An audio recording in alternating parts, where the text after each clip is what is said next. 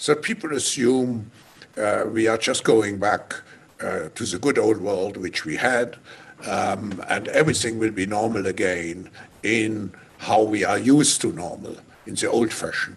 This is, uh, let's say, fiction. It will not happen.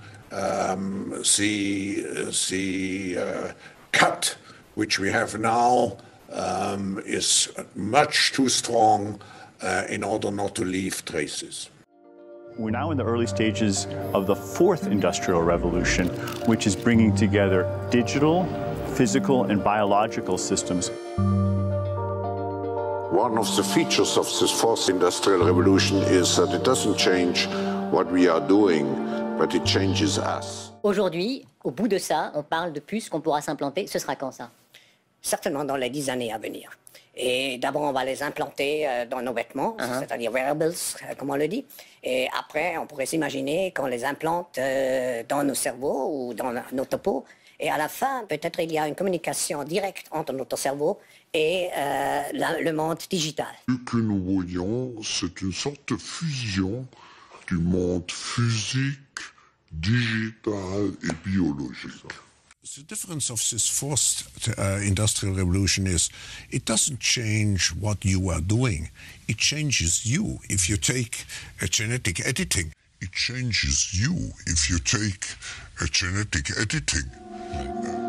Our bodies will be so high tech, we won't be able to really distinguish between what's natural and what's artificial. The very idea of human being some sort of natural concept is really going to change. Internet of Bodies, or IOB, is, um, is actually an ecosystem. It's a bunch of devices that are connected to the internet that contain software and that either collect personal health data about you or can alter the body's function. Can alter the body's function. We think of the Internet of Bodies as this collection of all these devices as well as all the data that the devices are gathering about you. There are pills now that have an electronic sensor that let a healthcare provider know whether you have taken the medication. There's the cyber risk of, of uh, you know, of an actor potentially um, hacking into the system. You put it underneath your skin, and what that tells you is that there are chemical reactions going on inside the body, and that signal means you're going to have symptoms tomorrow. Wow. There's an actual transmitter in that yeah, it's like a check engine light. They created her to promote human to machine empathy and compassion. She's appeared on late night shows and the cover of fashion magazines. Sophia was even given legal citizenship in Saudi Arabia and appointed the UN's first non human innovation champion. Her new role is in the healthcare sector, taking temperatures with a thermal camera on her chest or leading morning exercise with the elderly. Social robots like me can help take care of the sick or elderly in many kinds of healthcare and medical uses. I can help communicate, give therapy, and provide social stimulation even in difficult situations. In Sweden, the microchips are already here. The microchip implants use the same technology that's in contactless credit cards, which have made cash pretty much obsolete in Sweden. No cash. At this tech fair, a chipping event for those on the cutting edge, merging their hands with this new technology. I thought it would be fun, right? Central banks have, like the Bank of England, already prepared their microchip implant RFID chip to be implanted under your skin. Um, and why is the sudden discussion about universal basic income from all the grassroots and inverted commas movements and billionaires. Oh, universal basic income is the bribe for you to accept the microchip. We're still essentially the banging the rocks together stage for this sort of stuff. And you haven't really seen anything yet. So this is closer to the end of the vision. This is this powder-sized chip, um, and that's a salt crystal. So this is a small thing. It's something called the Mu chip from Hitachi. It's the smallest commercially available RFID system in the world and can be pulse powered by radio waves. It doesn't require a battery. You can literally scatter this stuff like dust or embed it into a sheet of paper. And you know what the really interesting thing about this technology is? This was commercially released 10 years ago. So the inevitability of smart dust. So what is smart dust? Well, Smart dust, of course, isn't a new concept. It's the originated with DARPA back in the 90s. And it's general purpose computing, sensors, wireless network, networking, all bundled up into millimeter scale sensor motes, drifting in the air currents, flecks of computing power settling on your skin, ingested, monitoring you inside and out. You're a neuroscience company, and you're working to build basically an interface to the brain. Yeah. Electrode to neuron interface at a mic- micro level. Okay, what is it? Like I'm gonna have like a plug in my head that's gonna fit into a hard drive? Like, or how does that work? Yeah, yeah. Ch- a chip and a bunch of tiny wires. This this would be implanted surgically, and it would do what? Could you input? Could you download Jim? Mm-hmm. Yes. Wait, wait, wait. The long-term aspiration with Neuralink was would be to achieve a symbiosis with uh, artificial intelligence. This project started because the government was interested in developing better ways for us to connect to the brain. What are the physical processes we could use? What are the techniques we, that might give us the ability to communicate with the brain through the skull? So we started this in, in a very exploratory phase, and we looked at how we might be able to use magnetic fields and how we might be able to use light. Both of these things can penetrate the skull, and we wanted to understand if signals from the magnetic field and from light would allow us to record and stimulate the brain. As the magnet turns on, the flies are stimulated, so we're working to stimulate their brain uh, using nanoparticles that I've already injected into the flies. Using nanoparticles that I've already injected into the flies. So if we attach a specific drug to the nanoparticles here, um, we could put it in the entire body.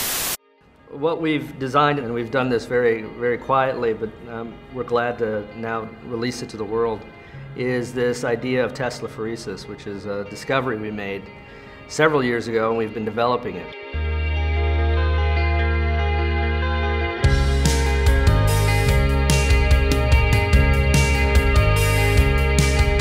And Tesla Teslaphoresis is the simplest way to understand it is self-assembly at a distance, just long distance assembly of, of materials.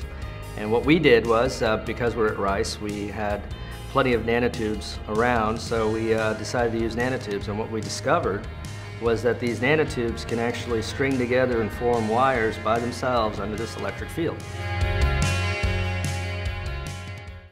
You can convert the carbohydrates that are within bread to graphene, or we can do it on a coconut. So you can take a coconut and convert that into graphene. Now, why would we want to have something like this? This is all conductive, and so it can conduct electricity. So what we can do now is we can make electronics embedded within fabrics and make electronics embedded within wood. Why would one want edible electronics?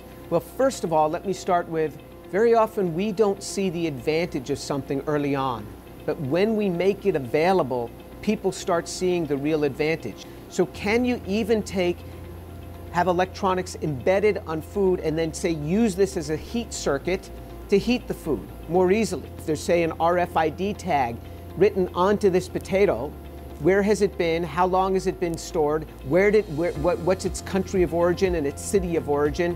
And what path did it go to to get to your table? All that can be embedded not on a separate tag that's placed on the food, but directly on the food itself. And these can also have sensors. I'm not comfortable with my body, so I want to get rid of it. This thing, all the arms and legs and every single bit of it, I don't want to be flesh. I'm really sorry, but I'm going to escape this thing and become digital. What do you mean? They say one day, soon, they'll have clinics in Switzerland where you can go and you'll sign a form and they'll take your brain and download it into the cloud. And your body? Recycled into the earth. So you want to kill yourself? I want to live forever as information because that's what transhumans are, Mum. Not male or female, better. Where I'm going, there's no life or death, there's only data. I will be data.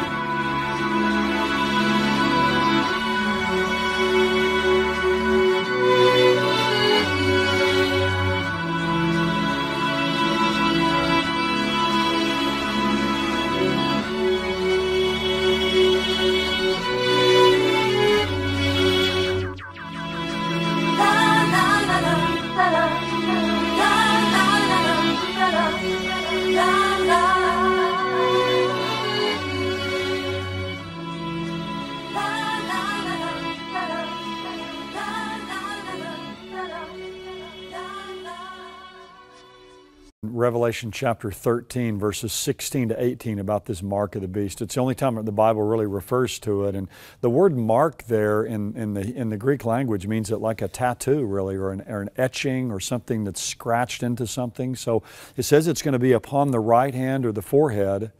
And it says you can't buy or sell if you don't have the mark of the beast.